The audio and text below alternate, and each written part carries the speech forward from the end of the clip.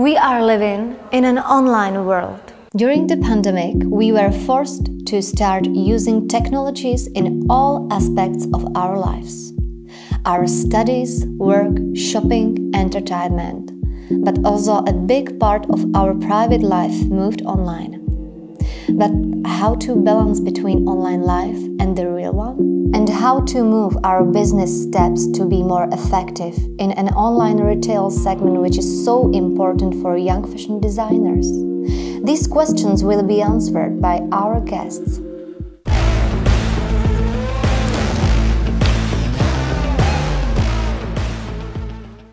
Currently, we live in the world where almost everybody is connected. So I think we have to stop thinking about online and offline anymore. We can't distinguish those two as two separate entities. We need to really start looking at those as one existing ecosystem. So for example, when you're developing a marketing strategy for your brand, it's not anymore what we do online and what we do offline, but those two need to create an omnichannel strategy where you really communicate with your possible customer on all different channels. Největší pozitivum, který právě na, tom, na tomhle vnímám, je ta skutečnost, že se tam vlastně nachází ten náš cílový, ten náš cílový zákazník. To v dnešnej dobe už máme technológie, vďaka ktorým dokážeme vytvoriť fotorealistickú vizuálnu prezentáciu nejakého fyzického artefaktu, ktorý ešte neexistuje. A to je z môjho pohľadu obrovská zmena, ktorá má veľké dopady. Má napríklad veľký ekonomický dopad na, na celý ten proces, aj čo sa týka odevov a módy, pretože vyprodukovať a potom aj transportovať nejaký, nejak, nejaký digitálny produkt je ďaleko jednoduchšie, ďaleko lacnejšie, než v prípade proste nejakého fyzického predmetu. Takisto to má dopad na, na ekológiu napríklad, pretože takisto opäť produkcia a transport zanechávajú, proste majú ďaleko nižšiu stopu ekologickú.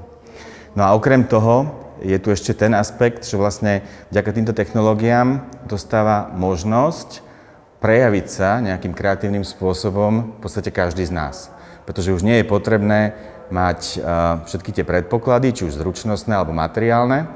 Vďaka digitálnym technológiám dokáže hoci kto zrealizovať svoju predstavu a ide potom už len o to, či ten výsledok naozaj zaujíma aj ostatných alebo nie.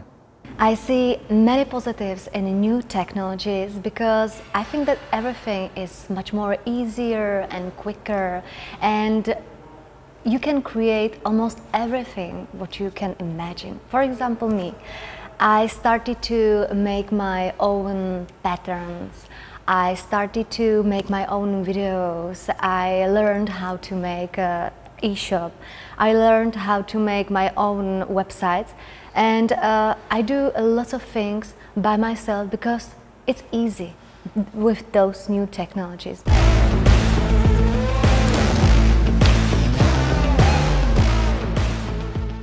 Every topic has two perspectives, how you can look, for, look at it. So for example, the time we spent online you know, it's a great opportunity to connect with anybody in the world. I mean, literally, you can reach out just right now to the editor-in-chief of ID magazine and get your work published. But at the same time, if you look at the mental health issues, which a constant connection and constant pressure from that connection is causing us, it's really dangerous. So I think you have to be really mindful when it comes to everything.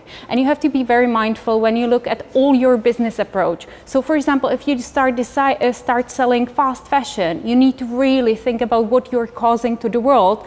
On the other side, you can make a lot of money. If you decide to create your collections in a very sustainable way, and if you decide to create your communication in a very sustainable way, you need to understand that means you don't have enough touch points maybe with your customer. So you really need to understand what are the upsides and the downsides of your each business decision and how it's affecting the whole thing. Ak mám byť úprimný, ja si nie veľmi myslím, že by online svet bol sám o sebe nebezpečný, pretože čo sa týka práve tej kreativity, mám pocit, že funguje taká nejaká samoregulácia. Ja by som skúsil uvieť dva príklady.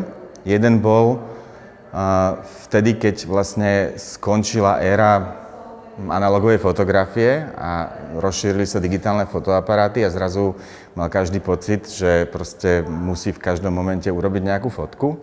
Tých fotiek začalo vznikať strašne veľa, začali byť zdieľané na internete. a v zápätí vznikli platformy, ktoré nejakým spôsobom začali organizovať a filtrovať tento obsah a nejakým spôsobom sa, tá, sa opäť nastavila nejaká rovnováha medzi, medzi tým produkovaním toho, toho digitálneho obsahu a medzi jeho konzumentami. Neskôr sa stalo niečo veľmi podobné s príchodom mobilných telefónov, respektíve smartfónov, kde vlastne v podstate dnes každý z nás so sebou nosí relatívne kvalitnú digitálnu kameru. Napriek tomu to z nás neurobilo filmových režisérov. Proste uh, opäť aj tu ľudia začali zaplňať uh, internetové platformy obsahom, ktorý ale nejakým spôsobom nič nové neprinášal a z môjho pohľadu každá nová ďalšia technológia, ako som spomínal, technológia, ktorá napríklad teraz umožňuje vytvárať uh, digitálne oblečenie uh, komukolvek, uh, tak ten, ten proces môže byť veľmi podobný. Začne sa taká obdobia, obdobie nadprodukcie, kedy každý bude mať pocit, že dokáže byť umelec a dizajner a následne príde, prídu platformy, kde sa vytvorí opäť nejaká rovnováha medzi tými ľuďmi, ktorí produkujú a medzi tými ľuďmi, ktorí konzumujú ten digitálny obsah. Takže ja naozaj verím, že ten online svet, že vlastne tie technológie sú len nejaký nástroj, ktoré nám nielen pomáhajú začať tým, že vytvárame strašné množstvo toho obsahu, ale následne nám pomôžu ten obsah proste organizovať, filtrovať a oddeliť to, čo proste je kvalitné od toho zvyšku.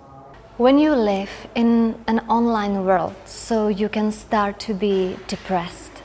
Depressed because everything looks so perfectly. People are perfect in online world. And you just simply want to be perfect as well, but reality is absolutely different.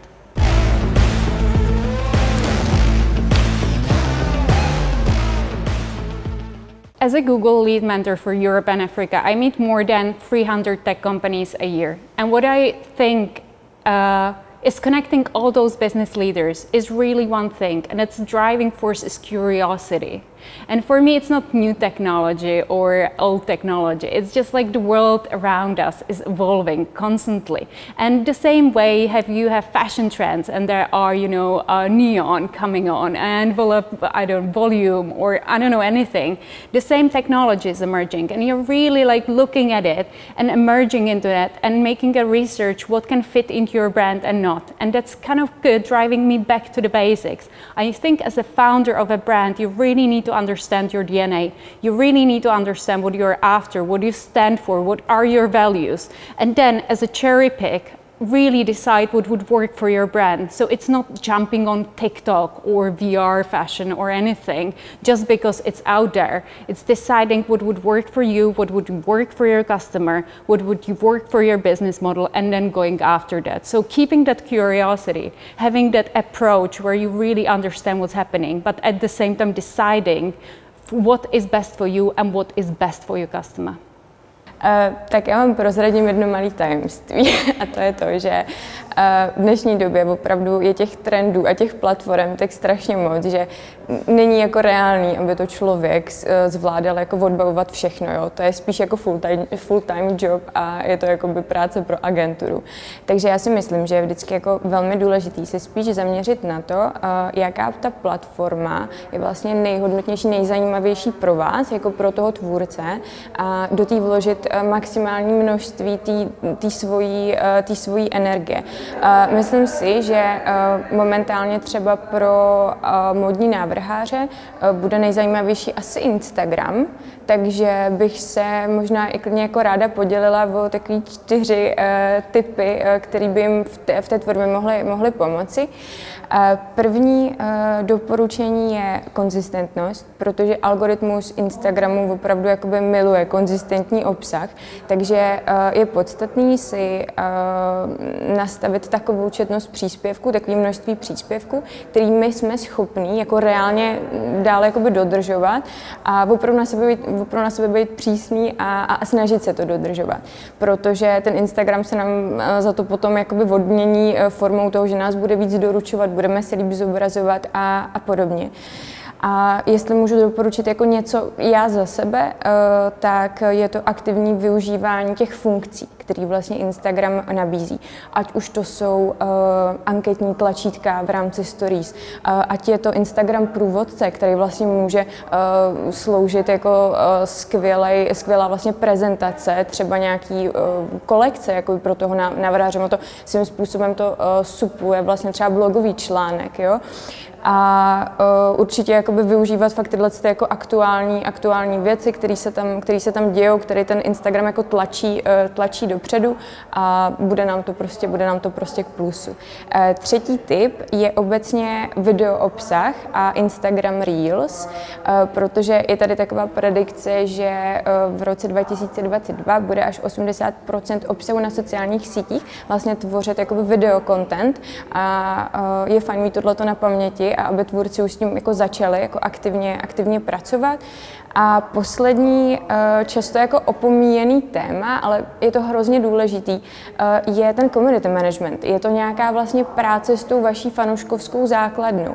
Jo? A schválně si tvůrce jakoby jeden den třeba zkusí místo děkuju odpovídat na komentáře otázkou. Jo? A, a uvidíte, co to vlastně s tím, eh, s tím vláknem komunikačním jako je schopný jako, mm, jako udělat, jak se vám to potom vrátí třeba v soukromých zprávách a podobně.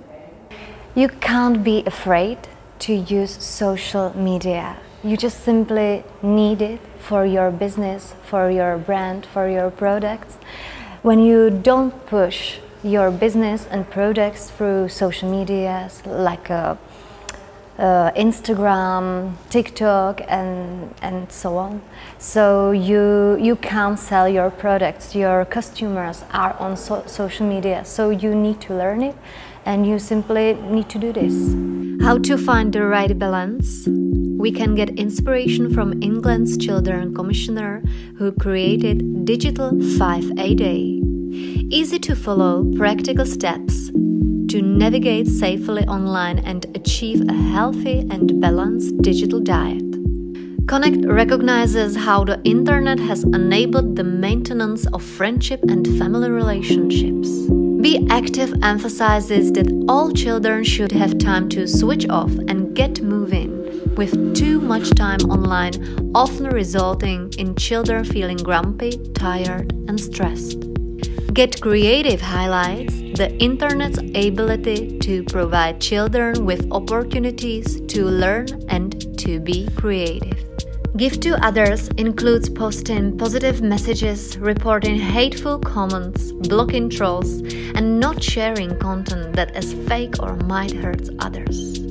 Be mindful underscores that children often feel pressured by the constantly connected nature of the internet and that it can be difficult for them to put their phones down when apps are encouraging them to engage. This video is closed with inspirational words of leadership coach Perry Maddox.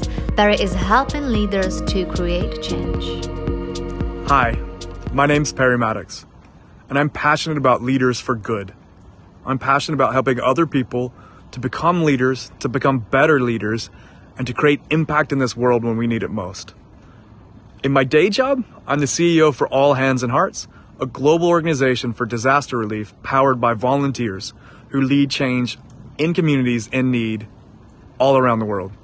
And in my free time, I run a thought leadership initiative called Just Open Leaders and a blog um, which helps young leaders to get on in their careers, to learn um, key leadership lessons, and to grow your impact.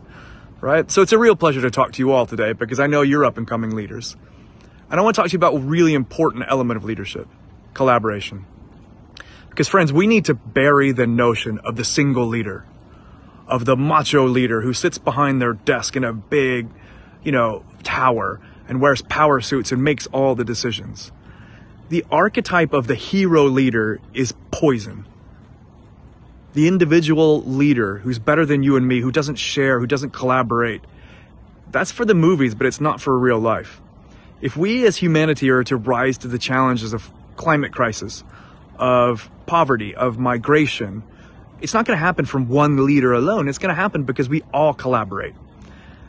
And that's why I'm really excited to talk to you as a, as a group of up and coming leaders in the Fashion Accelerator because you have the chance to collaborate and to work together. And that's the opposite of the hero archetype. It's, it's the collaborative leader. The best leaders in this world are collaborators because they know none of us have all the answers, that no one viewpoint is ever going to be sufficient in all the different areas of our world and life in which we work, and that we do better when we come together. So if you want to collaborate well, a couple uh, a couple pointers. First, collaboration isn't for every exercise. If it's a simple problem or a relationship that doesn't really matter much, don't spend the time intensive process of collaborating. Do something quick, make an easy decision. You don't always collaborate. But when you do collaborate, make sure you're doing it around the most important issues, okay? Around the most important relationships where the investment of coming together is worth it. Because when you come together, the first thing you need to do is listen. And it's really important that you take time to listen to understand, not to respond. So many times in a conversation, we listen thinking about what we're going to say. And the best leaders listen not just to what the other person's saying, they listen to how they're saying it. And they try to work out why they're saying it. Listen to understand. Second, share your fire, share your passion, share your ideas. Okay, this is a two way exchange. Tell them what you know. Tell them what you're proud of. Tell them what you believe and share that passion, that excitement. The more you share, the more you understand, the better you both can come together to create win win solutions, ideas, and opportunities that you wouldn't have come up with by yourself. Okay, and that's the heart of collaboration, right? And that's really how we make a difference as leaders. Bringing many people together to get a better outcome together. Anybody can do it alone, okay? But you're not going to do it well. And where you are as up and coming designers, you have the ability to come together with each other to create something totally new okay, to share ideas, to share generously, to learn together, to grow together. With the amazing networks uh, that you're going to have through this accelerator, it is a chance to collaborate and to come out better and to create better products. Better products, better ideas, better inspiration for all of us. So don't try to do it alone because nobody actually does. Okay, look for the people who will collaborate with you and collaborate well by listening to understand, by bringing your fire and your passion and looking for, for win-win solutions. Okay, because that's what we've all got to do in this world. Leadership's not about title and it's not about your role. It's about one thing your ability to influence others. You don't need power, you don't need to be 50 years in the, in the field to do that. If you collaborate well, you can influence now. And most importantly, you're going to come up with better ideas. That's why I'm, I'm filming this video. I mean, you are creative people. I believe that creatives are the best leaders because they don't accept the problem for what it is. They think about things in different ways, and I think are predisposed to better collaboration, to making the sum of the parts bigger. So I really encourage you to to think about this theme of, of collaboration, um, and you know to tap into your innate creativity as the missing piece of the puzzle. So many of us out there need your energy, need your vision, um, and I can't wait to see what comes from this accelerator. So thanks for listening. Take care.